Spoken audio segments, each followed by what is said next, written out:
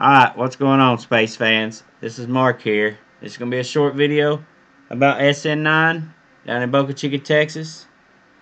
I got some video clips from RGV Aerial Photography. NASA Space Flight. If you haven't checked them out, you should. Because it wasn't for them, we wouldn't get to make these videos. So, subscribe, smash that like, comment. Let me know what you like about the video and what you didn't like. Also, NASA got to do their seventh green run on the SLS core stage. I don't know if y'all y'all got to see that. I hope you did. But there's some pics of that at the end of the video. I hope you enjoyed the video. Don't forget to comment, subscribe, and smash that like. Thanks.